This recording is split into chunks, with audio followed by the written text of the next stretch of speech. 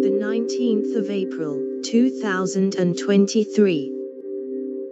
The artist Mark Bradford is finally ready to go there.